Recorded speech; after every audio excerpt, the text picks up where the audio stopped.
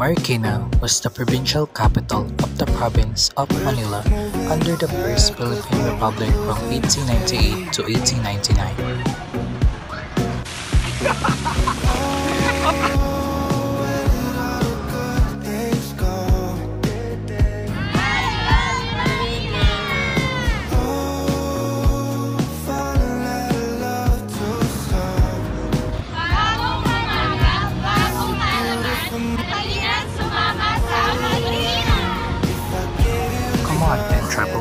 us. kasama Portuguese car. And of course, hindi pwede mawala ang aking kasama, Portuguese. At saka, syempre, bago ipapakilala ko sa inyo ang ating driver. At syempre, yan, ipapakilala ko sa inyo ang mga kasama natin sa amin at ayan, syempre, hindi pwedeng mawala ang aking mga kasama sa vlog at ayun, si Vincena as Ate Luzona. Hello mga Marikina! Hello mga viewers! Ayan, teka, ang dami ko nang nasabi. Ano nga ba ang pag-aaralan or ating inatakay ngayon sa video na ito? Siyempre, hindi lang tayo magsikilaan dito. Hindi mag matutulungin tayo at magkakaroon tayo ng bagong kaalaman. Wow! Siyempre, nakakulong dito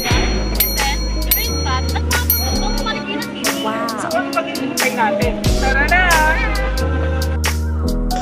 Alam nyo ba, na itong kinakatagawa natin, dito naganap ang first March of 2020. And of course, isa sa pinakamalaking pasasalamat sa mayor natin na si Mayor Marcy Reyes Isidoro, ang Filipino politician, 12th event Mayor of Marikina City. At syempre, Roy,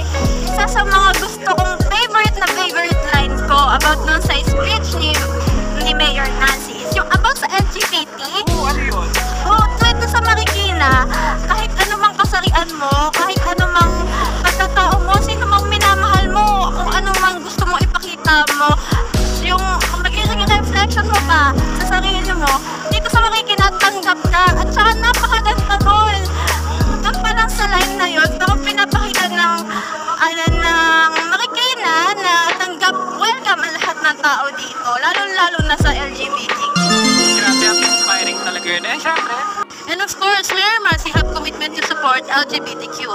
At saka, kapag nasa Marikina ka, kahit anong kasuotan mo, kahit anong kasarian mo, you're still human with a kind and genuine heart. Wala makapantay nun sa bawat tao to express to express themselves and who they are and what they are. Ko doon, grabe yung pagod at saya. Kaya if ever na may next event na gaganapin, sana makasama ko na kayo. And of course, sama makasama ko rin kayo para ma-share natin ito sa vlog sa next natin na gagawin. Oh. O paano, after taking a one event of this Marikina City, let's present to our next vlog. Yes. So, paano ba yan mga kamarkina? Magpapaalam muna kami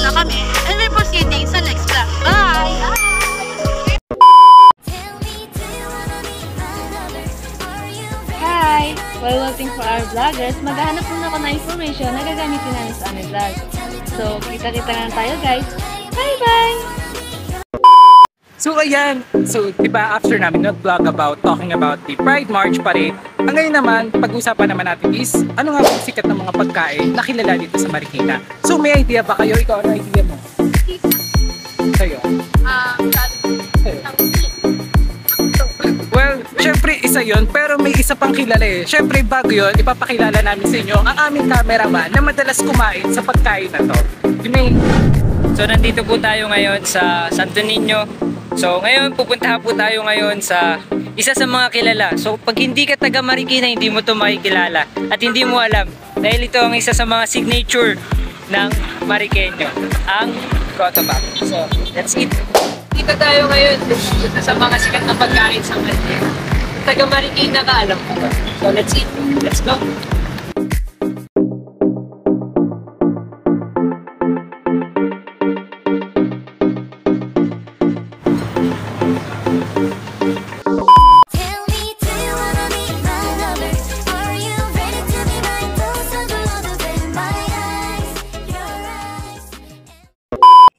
Marikina River Park, known as the network of parks, trails, open spaces, and recreation areas. This region is well liked for outdoor recreational activities by people from adjacent cities in Metro Manila as well as Marikina locals, including jogging, biking, skating, fishing, picnics, and outdoor recreation. Since motorized cars are not permitted to pass by the riverfront, the region is one of the city's most bike-friendly attractions, especially for our beginners. So, hi guys! Nandito ako ngayon para maghanap ng information para sa gagamitin namin sa aming vlog. So, ayun, kita-kits guys! See you! Bye!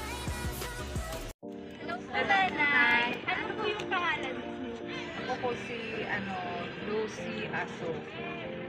Ilan taon na po kayo? 60. Ano po yung nagustuhan niyo sa Marikina? Dito sa Marikina, hindi lang ako ang may gusto kasi dumadayo dito sa park.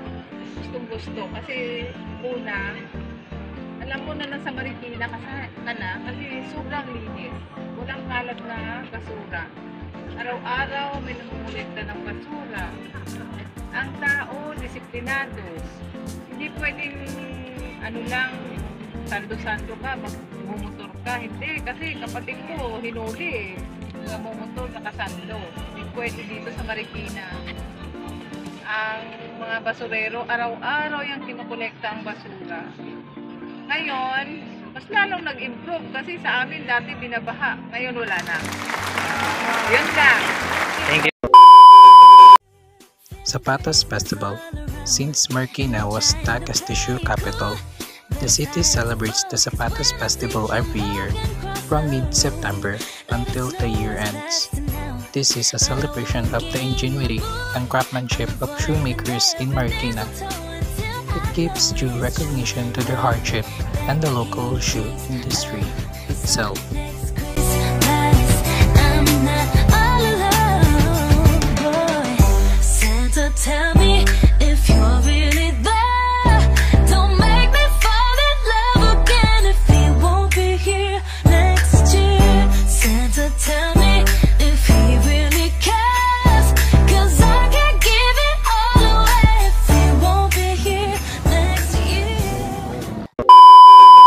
So what's up guys? So ngayon, habang nagbibideo pa yung mga vlogger, I'm going to show you what I do in the information that I found.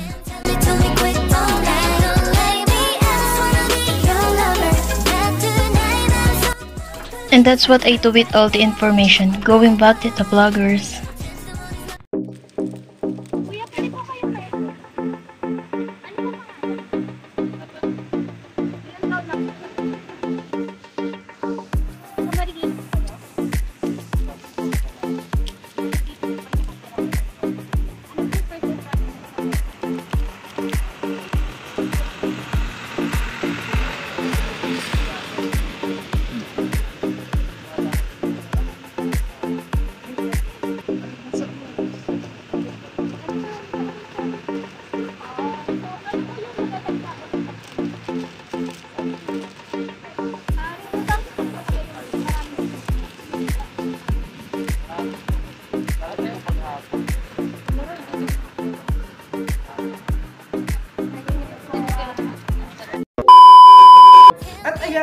Salamat sa panonood ng aming vlog. At muli kami ang team...